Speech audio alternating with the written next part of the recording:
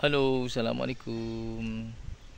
Saya sedang berada di kebun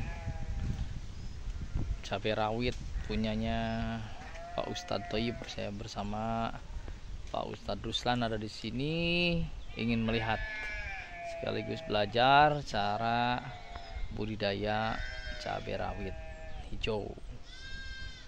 Ternyata ini nggak pakai mulsa ya, dan sekarang hasilnya sudah lumayan karena harganya bisa sampai 37 kalau saya dengar ya satu kilogramnya.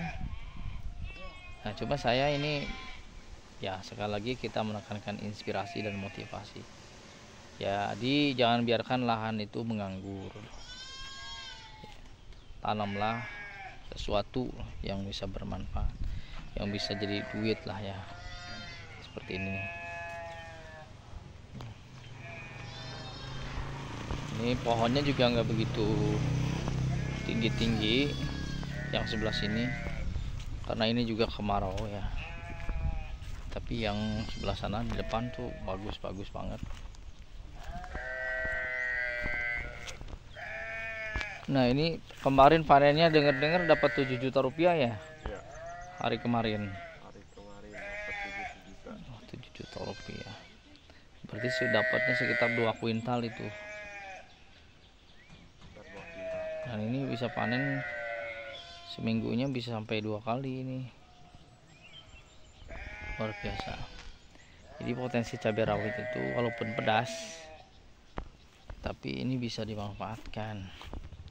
Uh populasi berapa ini tekan ada tuh tiga ribu. Ini tiga ribu populasinya loh. Tuh. Mulsanya pakai jerami juga nih keren ya. Tuh. Ini tuh udah petikan keberapanya kang? Tiga tiga ya. Oh masih banyak tuh buahnya. Ya mudah-mudahan ini berhasil sampai hasilnya itu banyak lah. Kita juga mau ngikutin nih ini tanpa musa ternyata keren juga ya. Ih tanahnya sih bagus ini mah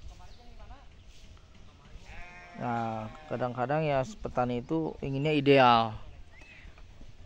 Tapi menurut saya lakukan aja yang sebisa kita semampu kita. Seperti ini kan nggak pakai musa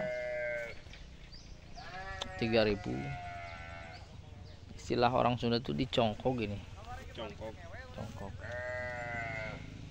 dan kayaknya ini nggak ada kotoran hewannya ya. Sedikit kali Nah, jadi sangat ya anti mainstream kadang-kadang kita harus petani itu harus nyiapin dulu pupuk kandang apalah inilah itulah terus kalau kita terbentur dengan itu semua jadi kendala akhirnya nggak jadi jadi nanamnya hmm oke deh ternyata bisa diupayakan dan diusahakan. Salam bertani, jangan biarkan lahannya nganggur, bro. Yang penting cuan, cuan, cuan, cuan, cuan, cuan, cuan, cuan.